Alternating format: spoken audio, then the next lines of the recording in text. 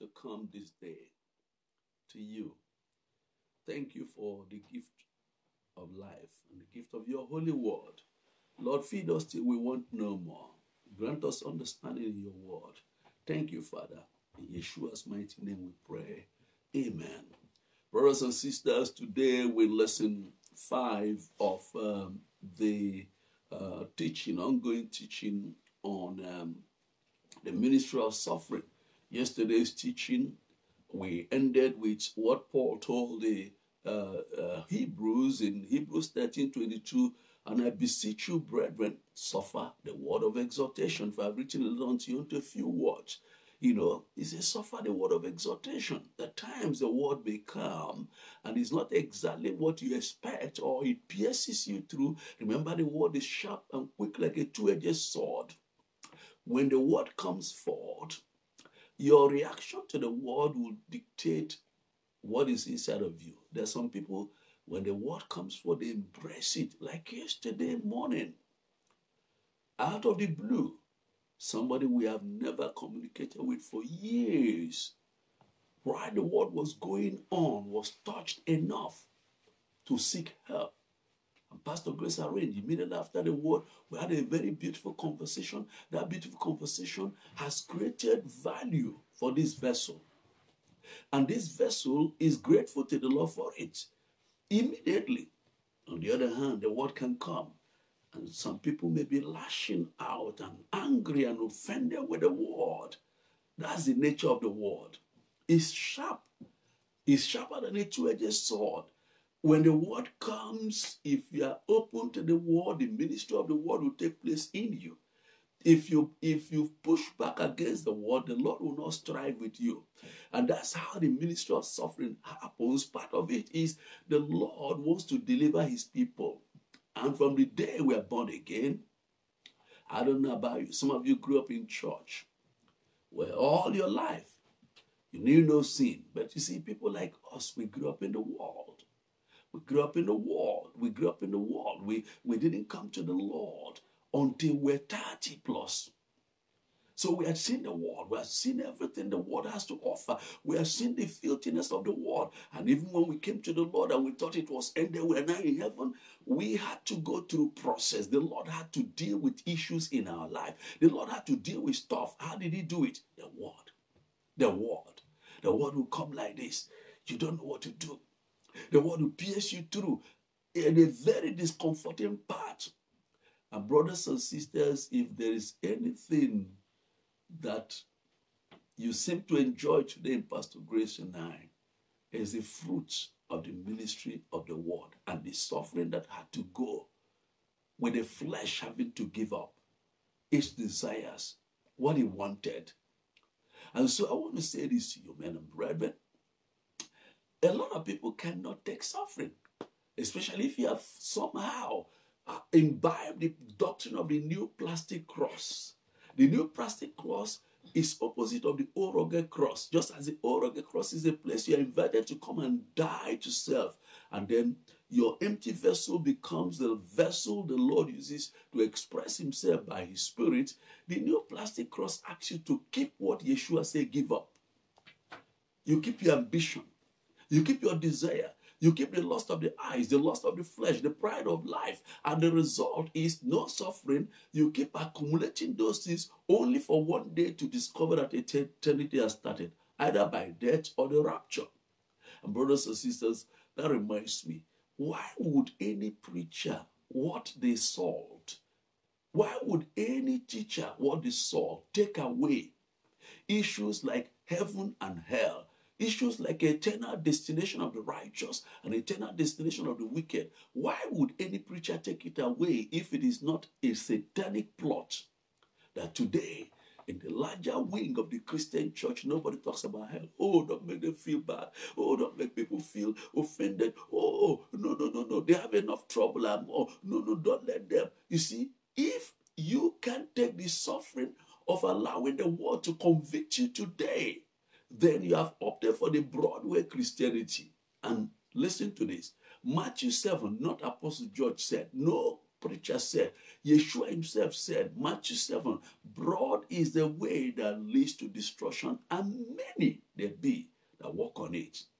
And so I want to say this to you. If you come to a place and look at the significant thing, if you come to a place like this program, Facebook Live, and the audio version called The Daybreak with the King, listen to this. The where the Lord brought you is because the Lord knows there are things in you that He wants to deal with. And I want to say this to you. Don't ever think Pastor Grace and I have arrived. We are student number one in the master class. We are student number one in the global school of ministry. So when the Lord releases the word, we take it in first. We pray it in first. We ask the Lord, is there anything in me that does not conform to your expectation, or your plans? Lord, I pray, I give you right of way. Whatever it is, take it out. Whatever it is. And that approach has helped us.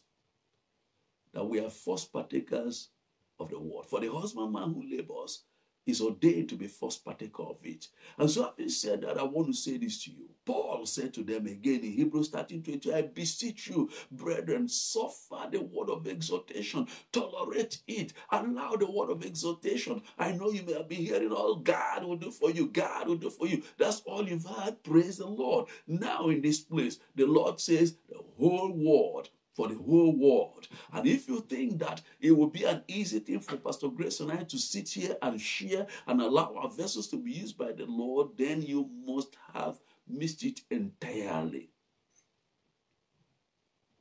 It's not easy to be used by the Lord to know that there'll be people out there carrying stones to stone. There'll be people out there who will have sharp teeth like sharp teeth like like like like like iron to eat up but you know what we're not intimidated we're not intimidated it has pleased the lord to give us the grace like he told jeremiah in jeremiah chapter 1 men and brethren he said fear not he said before, you, you know, listen, this this person you are seeing here, you are talking to you are talking about a showbiz impresario who spent all his days in vanity of flesh and all that before the Lord arrested dramatically on that day. And that day he arrested, he arrested, and then I realized this is a new life.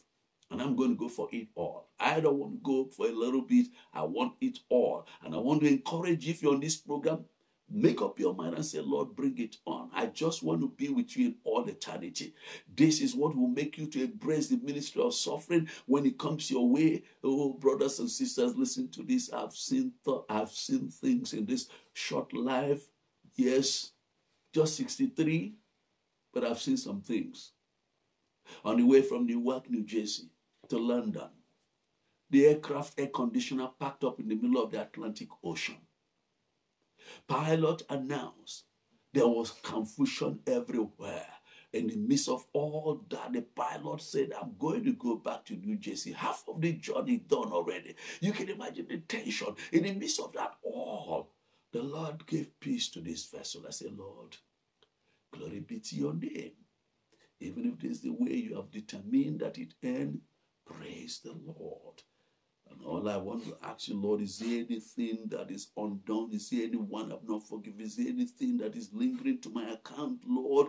Just this moment I have, take it away. This happened before I prayed about the aircraft attitude, what the Lord wants to work out of us through all we go through, is to come to a place where our attitude in the midst of suffering is not murmuring, is not complaining, is not is not quarreling, is not lashing out.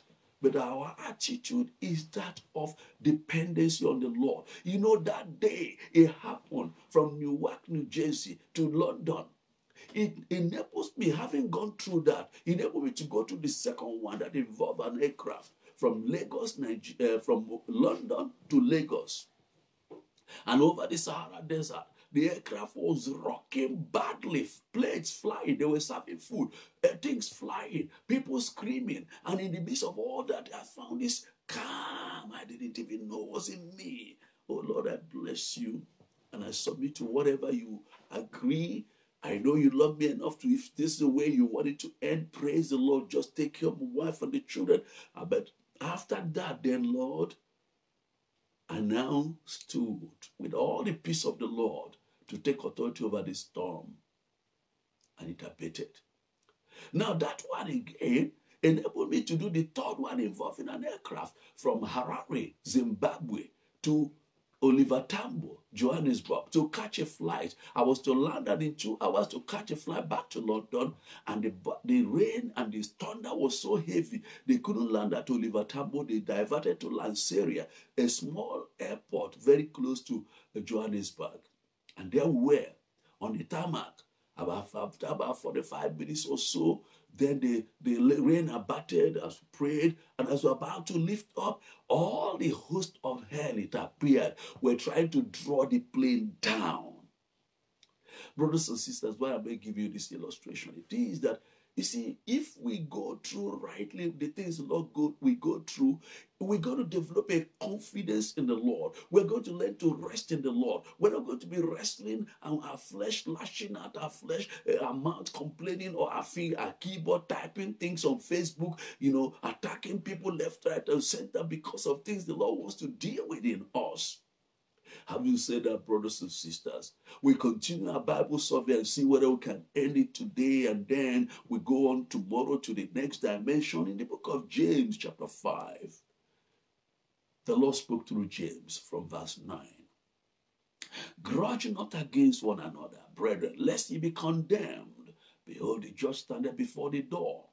Take my brethren, the prophets, who have spoken in the name of the Lord for an example of suffering affliction and of patience. Behold, we count them happy which endure. You have heard of the patience of Job, and have seen the end of the Lord, that the Lord is very pitiful and of tender mercy. Two things he brought forth there. You know, the, the, the suffering of the the suffering and affliction and patience of the prophets of old. You know, Jerusalem was a killing field of the prophets of old. They suffered. They suffered persecution. They suffer rejection. They suffer the things people are groaning today, mourning about today was standard fare for them. And then he tells about Job. Remember Job. Job was patient. Men and brethren, even when he seemed to stumble, the Lord enabled him to come back on track. Brothers and sisters, the Lord is pitiful and tender of mercy. Whatever you are going through, it will not destroy you. Whatever you are going through, the Lord is going to work out his grace through it. And then let's go on to Peter. Peter, the one who witnessed the sufferings of Yeshua. Peter was able to write a few things about suffering. Apart from Paul, Peter wrote the next largest tome on suffering. Let's see what he said in First Peter chapter 1, verse 10. On which salvation the prophets have inquired and searched diligently, who prophesied of the grace that should come unto you, searching what? Or what manner of time? The spirit of Yeshua which was in them did signify. When he testified beforehand the sufferings of Yeshua and the glory that should be revealed. The sufferings of Yeshua and the glory that should be followed. Men and brethren, if you remember that suffering is not fatal, Suffering is not a dead end. Suffering is a pathway to glorification. Don't forget this principle. Whatever the Lord allows you to go through, it is not what you go through that's the issue. It is the end product of the Lord. The end product of suffering is glorification. The end product of suffering is exaltation. The end product of suffering is perfection. The dross in us, most of the time, it is what we go through that will take it away. Ordinarily, they won't go away. At times, we tend to forget our need of the Lord, especially if the Lord has blessed us with something, maybe prominence or money or assets or all that. You know, everything may seem like nothing. And you, when you hear about other people going through, it's like nothing to you. Then suddenly it hits you. Something happens to you. Something that is so deep and so intense. You find yourself go to your knees. All along, you're praying the kind of type of prayer. Father, in the morning, good morning, Lord. Lord, thank you for the day. You're praying that all the day. Something hits you in your business, in your work, in one thing or the other. You find yourself 4 a.m. You are up, traveling before the Lord, two hours before Him, two hours, 40 minutes before Him, because of what you went through. That thing has drawn you into the depth of the bosom of the Father. Men and brethren, 1 Peter 2 19, for this is thankworthy if a man for conscience toward Elohim endure grief, suffering wrongfully. He said, hey, if you suffer wrongfully, you endure it, then it's thankworthy. So how many of us are able to endure grief? We suffer something we ought not to suffer. We keep quiet. We give the Father glory. We just exalt his name in the midst of his suffering. Do you know the same tongue with which people complain and murmur is the same tongue with which you can praise him and worship him and give him all the glory in the midst of the affliction you are going through. It's a matter of choice. Do you choose to murmur, to gossip? Do you choose to lash out? Do you choose to be offended? Or do you choose to use that same tongue to glorify the Lord? One emanates from the soul, which is agitated when things are inconvenient. The other emanates from the spirit man. And that's why the Lord wants us to be spiritual people, not soulish people. Soulish people can't handle suffering. Soulish people cannot handle pain. Soulish people have a way of just being victims. They all what they do, they stay in a state of arrested babyhood syndrome because of their victim victimhood mentality. Victimhood mentality will make you a babe even when you're old. 50 years old, a babe. 55 years old, a babe, 60 years old, a babe, because your attitude is so in arrested babyhood syndrome. And the Lord wants us to uh, grow up. The Lord wants us to be spiritual. When you are spiritual, you're able to process things that happen through the lens of the Spirit, through the mind of the Father. You are looking at Matthew chapter 6, verse 10. Thy kingdom come, that will be done in all situations. Men and brethren. So Peter then said in verse 2 to 1 Peter 2:20, For what glory is it if when you be buffeted for your faults, you shall take it patiently. But if when you do well and suffer for it, you take it patiently, this is acceptable to Elohim. It's a powerful principle. Some sufferings people go through is not really suffering from an Elohim point of view. It's chastisement. They are being chastised for their sin. They are being chastised for their faults. They are being chastised for being busybody in other men's matters in terms of, you know, gossip, backbiting. They're being chastised because of what they're doing, the way they do it, the wrong things they do. They are being chastised for the wrong steps they take. People take wrong steps. And when they are chastised for it, they begin to complain and murmur, no, there's no profit. If you're chastised, it's a just recompense for what go through. But men and brethren, he says in verse 21, For even hereunto were ye called, First Peter 2 21, because Yeshua also suffered for us, leaving us an example that we should follow his steps. Who, when he was reviled, reviled not again. When he suffered, he threatened not, but committed himself to him that judgeth righteously. This is something the Lord wants to bring us to. Come to a place, people abuse you, people attack you, people do all kinds of things against you. You don't return it to them. You don't do fire for fire. What do you do? you commit yourself to him that judgeth righteously. This is a place the Lord wants to bring all of us. The remnant of Elohim, hear this. The Lord wants to bring us to a place where we commit all things to him who judges righteously when we are going through. And we are not just asking him to go and deal with these people, judge them, fire them, all that. No, you commit it to him. Trust in the judgment of Elohim. Trust in the wisdom of Elohim. Because at times Elohim may allow people to be the instruments through which you are purged from your fleshly nature, from your dependence on yourself. Men and brethren, it's very important. So he told us again in verse 17. No, sorry. He told us again in 1 Peter 3 14. But if you suffer for righteousness' sake, happy are ye, and be not afraid of their terror, neither be troubled. Verse 17. For it is better if the will of Elohim be so, that you suffer for well doing than for evil doing. It is better if you did evil and suffer for it. There's no profit except you take it properly. And what is that properly? If you do wrong and suffer for it, what is the law require of you? It's called repentance. And in some cases, restitution.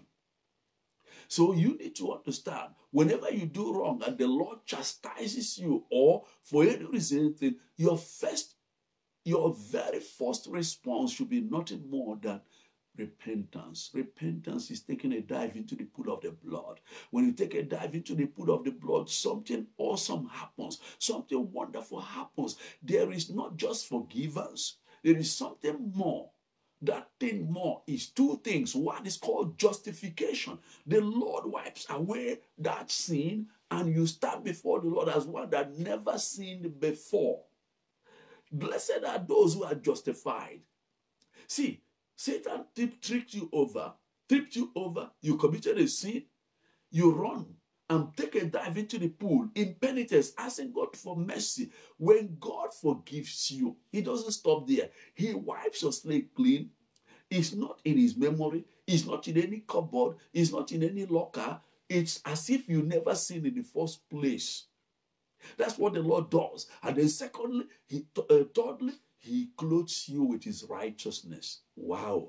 You have right standing with the Father. Why would anybody commit sin of any sort? Why would anyone suffer chastisement of the Lord and take, and refuse to take this simple deal? The Lord said, I don't care. Though your sins be as crimson, though they be as scarlet, they shall be as white as snow. Brothers and sisters, let us develop the holy habit that before we even begin to pray for repentance, I mean for for for breakthrough or for deliverance, first and foremost, Lord, if I regard iniquity in my heart, I know you will not hear me. If I cover my sins, as Proverbs uh, 28 13 says, I know you will not hear my prayer. Lord, I come to you before. I don't know the exact origin of this thing. I don't know where it's coming from, but Lord, I don't want to, I don't want to miss it. I come now to the throne of grace. I come by the way of the blood. Forgive me, purge me, purify me. If there's anything speaking against me, Lord, I give it up right now by repentance. Why would a Christian be so proud to do this thing? This thing that you do that will give you justification and clothe you with the righteousness of the Father, and you have the strength to resist Satan and he flee from you. Brothers, listen. Satan has done a terrible thing in the church. By taking away the need of repentance. Repentance is not only for sinners, sinners who are coming to the Lord. Repentance is a way of life of those in the Lord. When they stumble, he say, My little children, first John chapter 2, verse 1 and 2, I write unto you that you sin not. But if any man sin, we have an advocate with the Father, Yeshua the righteous. He's a propitiation for our sins, and not for our sins only, but for the sins of the whole world.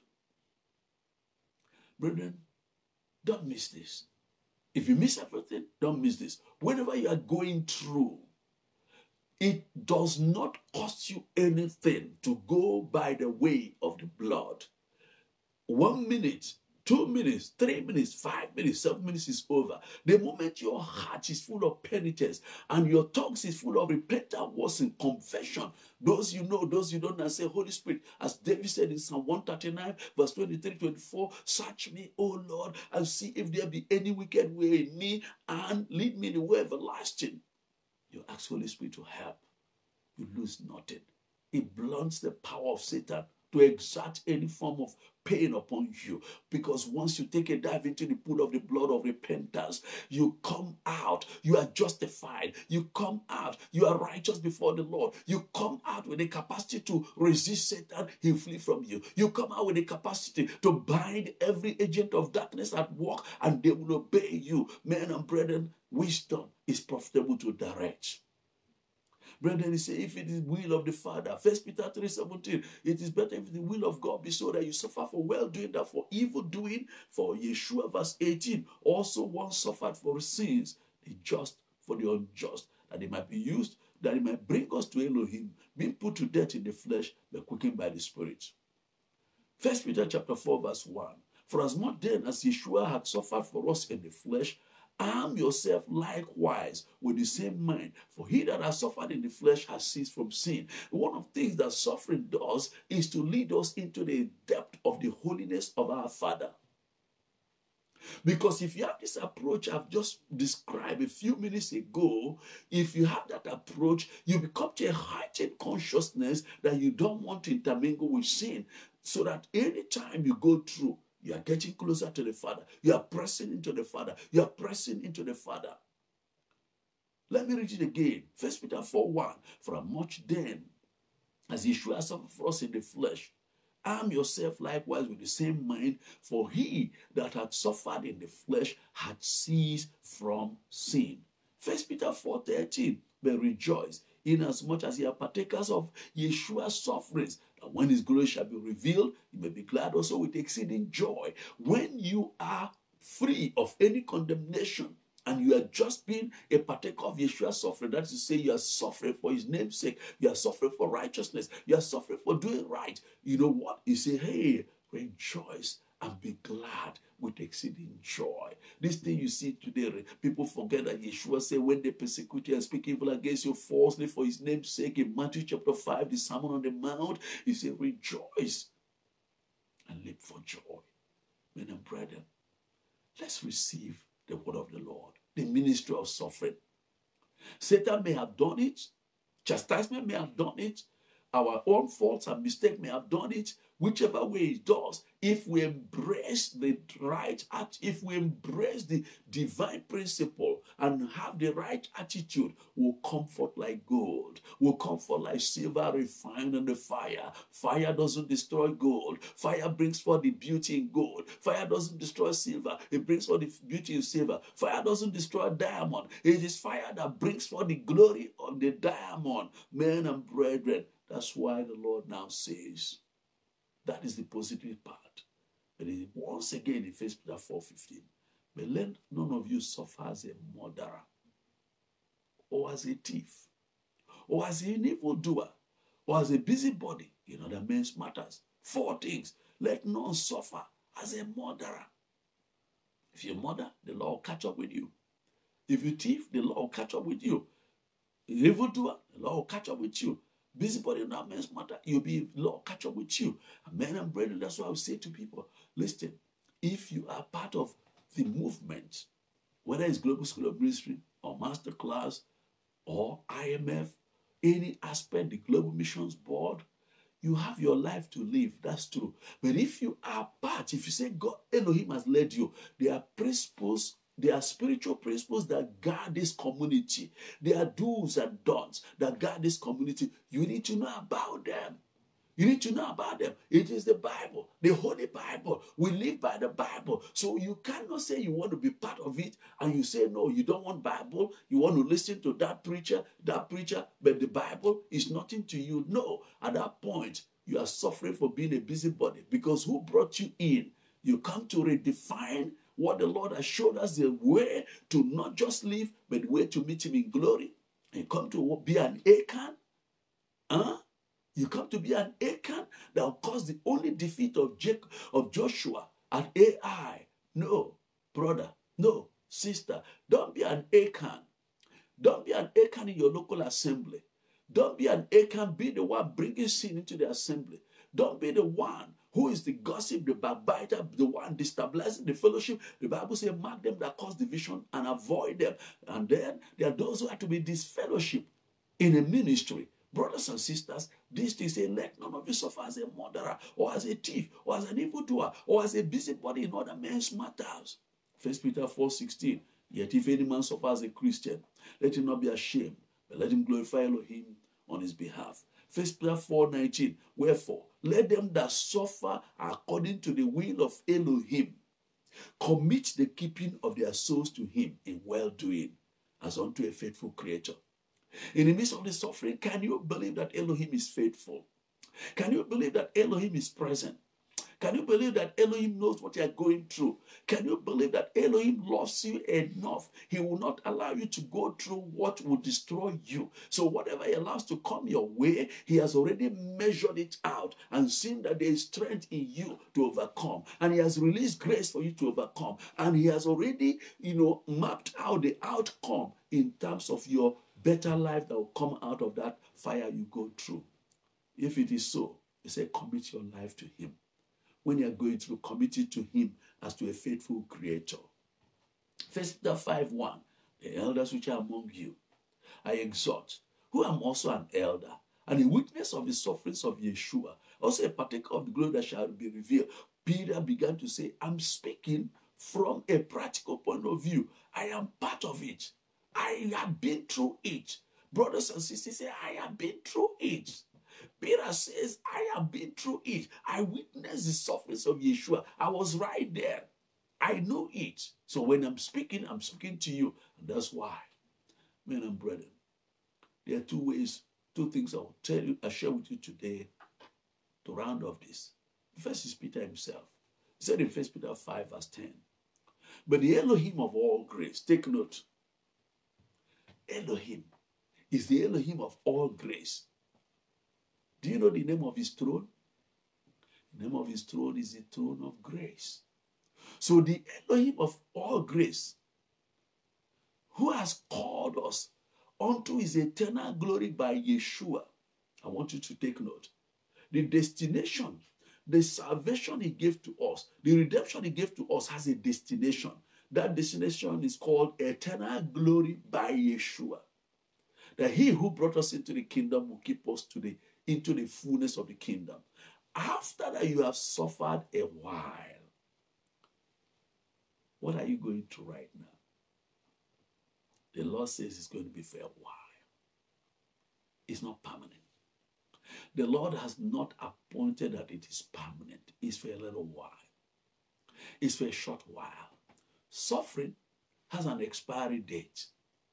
Suffering is not perpetual. It has an expiry date. He's on assignment for a purpose. He's on assignment to bring forth the eternal glory. Whatever the Lord has allowed you to go through or what you are going through, is it in your job? They pass you over and give unqualified people the promotion. They kept you static for three years in a particular place. Oh, because you preach the truth and the supervisor saw you, they benched you in a corner. Or in your school, they say, well, because you say you're a Christian, we'll see, let God come and deliver you. You got a grade that is supposed to be 70, they give you 68. You get 80, they give you 72. All kinds of stuff. Listen, suffering has an expiry date. The fire you are going through today is not going to be forever. The expiry date is close. He says, after you have suffered a while, make you perfect. Number one, the suffering the Lord has appointed that no matter the plan of Satan, no matter the plan of man, if you embrace the ministry of suffering and have the right attitude in your soul, the right attitude with your tongue, instead of complaining, murmuring, backbiting, lashing out, going to Facebook to begin to write all kinds of stuff, you complain against the what the Lord is trying to get your attention because sometimes He's trying to gain your attention on what you never considered he said he will make you perfect if you through what you are going through. Number two, he will establish you in him. He'll bring you to a place of stability that will make you, like I've told you three times, aircraft. I didn't tell you about armed robber. Broke into a house in the city of Owerri, Imo State, Nigeria, Ebenezer Court. My wife and I, Pastor Grace, she was pregnant then. The robbers broke through and pointed their guns at us. We just lay on the floor as they commanded us. They saw Bibles away for distribution to churches. They said, uh, "What this say? We can, you can take as many as you want." They rifled through, so it was Bible. They went to the office. The building in front was the office. Rifled through the drawer. Do you know that the bunch of money that they that they probably were looking for fell off? They didn't see it right there. But what was the grace that me and Pastor Grace could be calm? as we lay there and even held hands and prayed for them as they left to the other room. Say, Lord, whatever they took from this house, we sow it as a seed into their salvation. This Bible and whatever they get in the office, we sow it as a seed. Brothers and sisters, what you go through, if you go through it properly, the Lord will use it to establish you. A lot of Christians are like flotsam and Jetsam. They're just blowing with the wind. They're blowing with the wind. They're blowing with the wind. They see that new fashion. They want it. They see that one. They want it. They're blowing with the wind. The Lord said, I want to establish you. I want to make you solid. I want to make you have this solid nature, solid character in the Lord. And brothers and sisters, he said, after you have suffered a while, he make you perfect, he will establish you. He will strengthen you. I didn't you. catch that. Could you try He will again? settle you. He will perfect you, establish you, strengthen, settle you. Four things, four outcomes of suffering establish, strengthen, I mean, perfect, establish, strengthen, settle. Settle you mean that He will give you your portion in the land of the living. He will give you your portion in planet Earth. Brothers and sisters, it doesn't matter what you go through. Uh, you know, men and brethren, listen. You know, I told you, it doesn't matter what financial, economic, social, whatever you're going through. I told you about Pastor Grace and I how we went through a situation where those we minister to don't remember we are human beings. And yet the Lord asks us to minister to them wholly, completely, no charge. And pastors will come and reproach us, saying, You, okay, let's see the day you're going to, let's see when you beg for bread. He said, The Lord tell you not to charge. And then the people will come year in, year out. They don't remember, even people, all that. Have we lacked? Do you know that some of the greatest things in our life, the Lord will just from nowhere, He raised one vessel to do one extraordinary thing in our life? Why? Because through what we went through in this town, our children went to school with only butter, margarine in their bread in this town. From all the wealth, all the high position it had pleased the Lord to bring us to in Africa. He came here having to run into train, having to run into bus, having to go, having to walk, having to do things, having to lack, all those stuff. But you know what? We sowed it as a seed into what the Lord wants to do. When people see this work expanding, enlarging, you know what to know? It was through the fire. Because out of the death of one, or out of the broken seed, is their multiplication.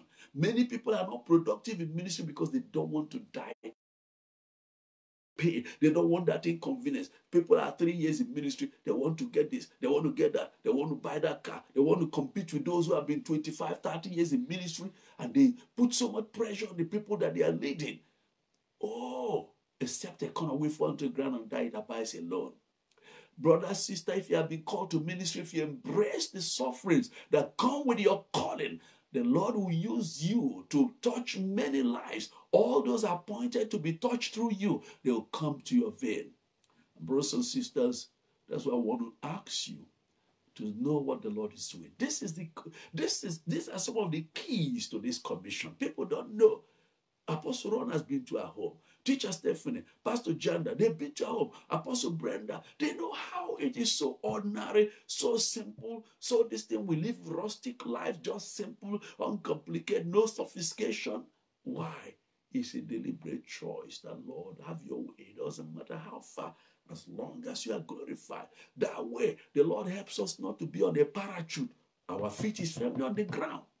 We can go anywhere. We can preach on the streets anywhere. When we go on mission, people wonder how we go out to market to preach, on the road to preach and order because we have allowed what we have gone through to give us the grace of simplicity, the grace to be real, the grace to be ordinary, the grace to be vulnerable, the grace to people to come and see how much, you know, how we simple and ordinary, yet it has pleased the Lord that every day through Facebook Live. We touch lives of those. And some people, the testimony they give us, the Lord truly is using this to change lives and transform lives. Through this, the Lord is doing the masterclass, training up manpower worldwide. Through this global school of ministry, hundreds of people are ordained every year. Manpower is added to the kingdom. And by the grace of the Lord, the Lord has added TBN Africa on DSTV channel 343 want to encourage you every Thursday. If you are in London, 4:30 p.m. In South Africa, 6:30 p.m. If you are in um, Eastern Standard Time in the US, uh, it's 11:30 a.m. or 10:30 a.m. if you are in Central Time. Every Thursday, go to DSTV. Put on Google DSTV channel 343 TBN Africa. You see True Kingdom Live with Apostle George and Pastor Grace. You click on and be with us every Thursday like today. Every also by 12 midnight today, South African time, which is 10 p.m. UK time today, 10 p.m. today, there'll be a repeat broadcast. And that is 5 p.m. Eastern Time today also. And 4 p.m. today Central Time. Then on Friday, or I mean on Saturday, early morning, South African time, 2.30 a.m., which is 12.30 London time, midnight. 12, 30 minutes past midnight London on Friday. And that means for those in the Eastern time zone, 12.30 p.m. Friday. And those in the Central time zone, zone 6.30 p.m. Friday, True Kingdom Live on DSTV channel 343, TBN Africa. And then Saturday morning, Saturday morning, 6 a.m. South African time, which is 4 a.m. London time, which is 11 p.m. 11 p.m. Eastern time and 10 p.m. You know, uh, um, Central time on Friday. So this is quite a bunch. The Lord has blessed the body, the whole world, for the whole world. And that is what has come from our own suffering, the breaking. And is it true? Is the Lord through with us yet? No way. By no way is it true. We, still, we are still working progress. But we say to you, it's a sweet journey. It's a sweet journey. Come along with us. I don't know what you're going through. There's a purpose. There's a divine purpose. It's for good. Don't ever fear what you are going through. That's what the Lord said to the church in Smyrna. You know, I remember very well, you know, that the Lord spoke to the church in Smyrna. Fear not. I mean, yeah, that's what he said in the book of Revelation 2, verse 10. He says, uh, uh, verse 9. I know thy works, tribulation and poverty, but thou art rich, and I know the blasphemy of them which say they are Jews and are not, but are of the synagogue of Satan. Fear none of these things which thou shalt suffer. Behold, the devil shall cast some of you into prisons, and you may be tried. You shall have tribulation ten days. Be thou faithful unto death, and I'll give you a crown of life. Brothers and sisters, let us learn to embrace what we are going through. Dance through your fire. Embrace your fire. It will not destroy you. It will take away dross. It will take away impatience. It will take away all the fleshly things that come in out of us. All the murmuring. The day will come when you not murmur in the midst of what you're going through. You'll be praising Elohim. You'll be giving glory. Aim to get there. Put that as a goal. Say to yourself, this February will not pass me by. I will get there. Where when I go through, what brings pain shall not bring murmur. What brings pain shall bring praise. What brings pain shall bring well, joy, joy of the Lord. Because the joy of the Lord is our strength. The joy of the Lord should not be anything that has to do with happiness. Happiness leads to happiness. And that's what many people aim for. But when you have the joy of the Lord, you can go through any situation with that inner state of knowing that the Lord is for you. And if the Lord be for you, who can be against you? We're going to pray right now. And then we'll take announcements. Are you ready? Let's pray. Father in heaven,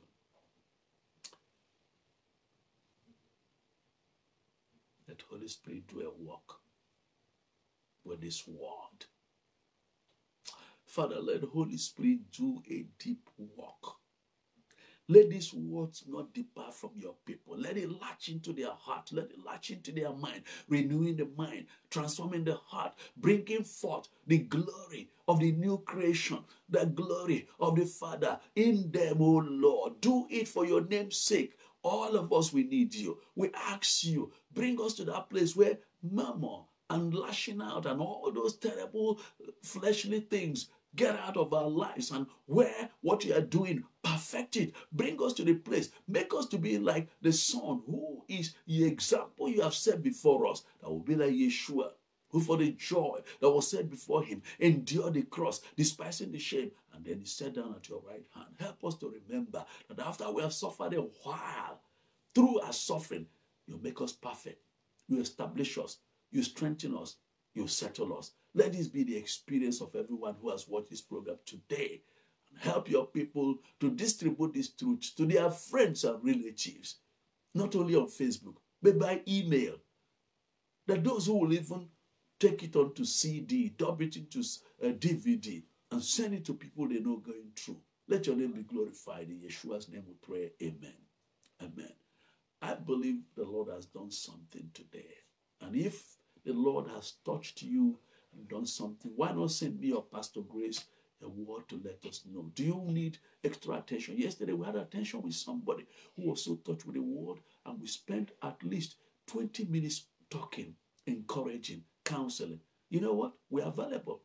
We're available. That's why we're here. That's our full-time job. It's for the remnant to be ready for the return of the Lord. And so we're going to take some announcement. Uh, Pastor Jeremiah Ebuche, his junior brother, passed on. Today will be service of songs. If you're in the London area, please join with us, uh, meet with us at uh, 821 Old Kent Road, the Redeemer Assembly Trust by 7 p.m. for a three-hour service of songs. Brother, his brother Ozeb was a pastor the Lord used for revival in Nigeria mightily. He passed on with, uh, left a widow and a daughter. And so we want you also to encourage Pastor Jeremy and Pastor Lizzie. May the Lord strengthen them. May the Lord be, be with them. May the Lord comfort them and may be well with them. And may the family be protected and preserved in Yeshua's name. Amen. Um, uh, at the 2020 masterclass, please, brethren, there's been a low level relative to some years before.